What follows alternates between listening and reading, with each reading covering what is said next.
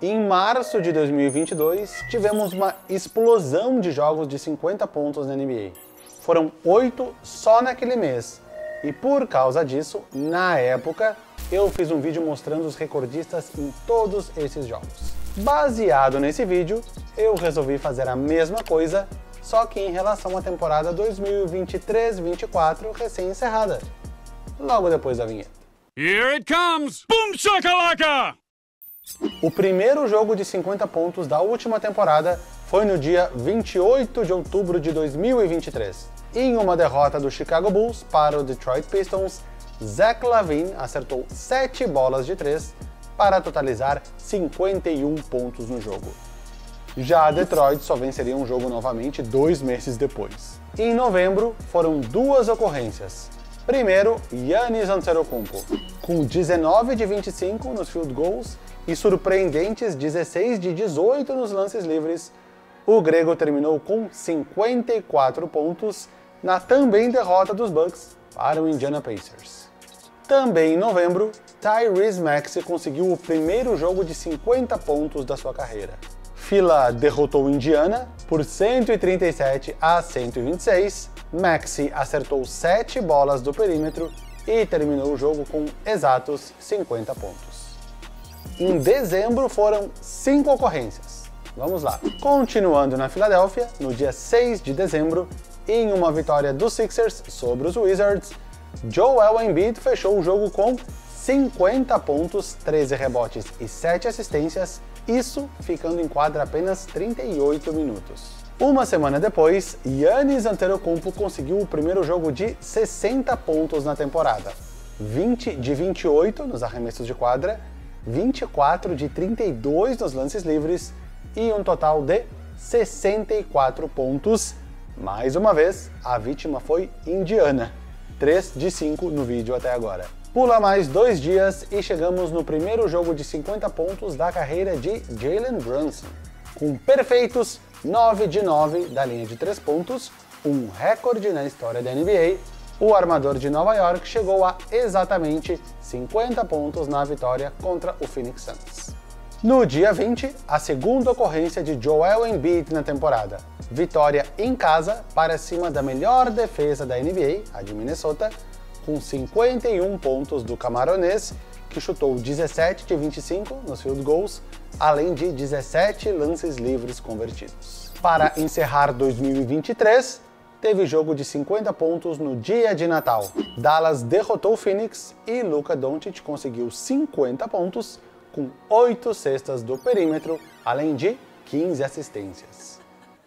Mas antes de continuar, uma pequena pausa para falar da parceira do Buncha Calaca, a KTO. Se vocês querem fazer as apostas de vocês de uma forma confiável e segura, a KTO é o lugar certo. Lá dá para vocês palpitarem não apenas em basquete, mas também em tantos outros esportes. Com o meu cupom VAVO, que está aparecendo aqui na tela, vocês ganham 20% de bônus no primeiro depósito. Acessem kto.com, façam os seus cadastros agora e divirtam-se. Chegamos a janeiro de 2024, aquele que ficou conhecido como o mês mais maluco do ano em termos de pontuação individual.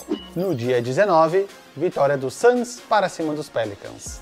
Devin Booker chutou 18 de 30 nos arremessos, converteu 6 cestas de 3 e terminou o jogo com 52 pontos. No dia 22, duas ocasiões, uma superando 60 e outra de 70 pontos. Primeiro, Joel Embiid não tomou conhecimento do futuro novato do ano, Victor Wembanyama, e conseguiu a melhor pontuação de sua carreira, 70 pontos. O Embi não foi mal, marcou 33, mas não havia Cristo que parasse o camaronês naquele dia.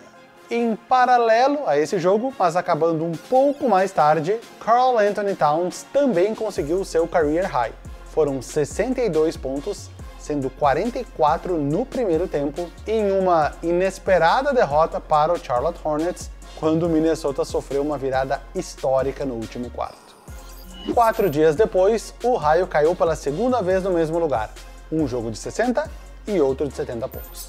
Em Indianápolis, os Pacers derrotaram os Suns por 133 a 131. Pelo time perdedor, Devin Booker chutou 22 de 37 e anotou 62 pontos.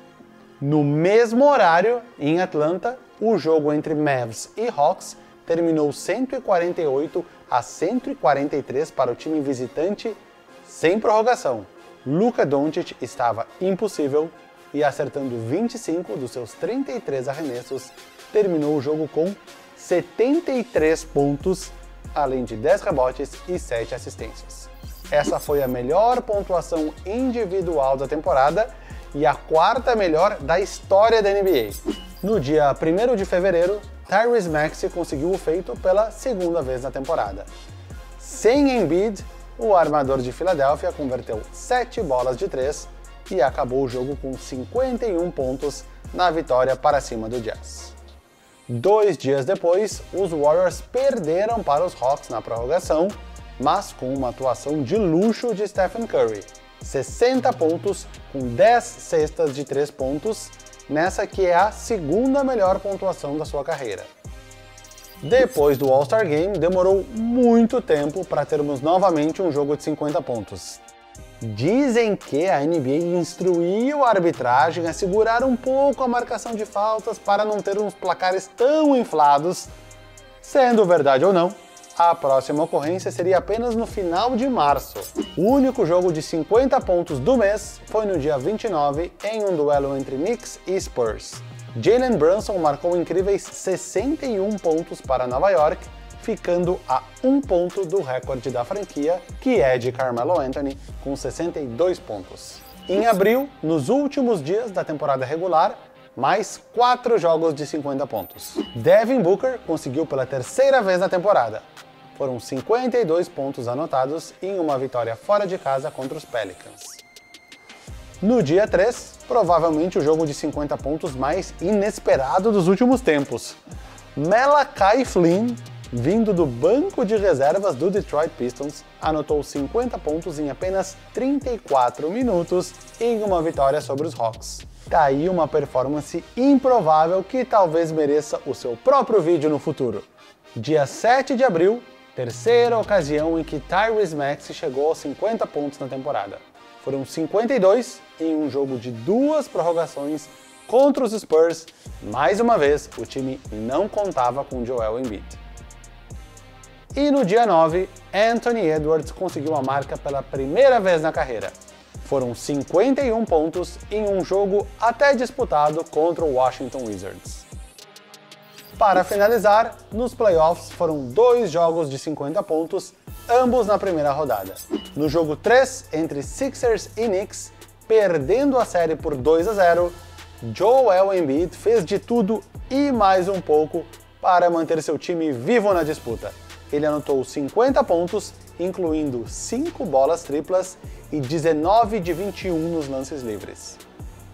E no jogo 6, entre Cavs e Magic, Donovan Mitchell marcou 50 dos 96 pontos do seu time, mas não evitou a derrota de seu time por 7 pontos de diferença para Orlando. Mas tudo bem, eles venceriam o jogo 7. Essas foram as 22 ocorrências de jogos de 50 pontos na temporada 23-24. Para termos um parâmetro de comparação, em 22-23 foram 29 vezes em que isso ocorreu. Ou seja, isso mostra o quão inflados estavam os placares na temporada passada, não que tenha melhorado muito. Muito obrigado a todos que estão aqui mais uma vez.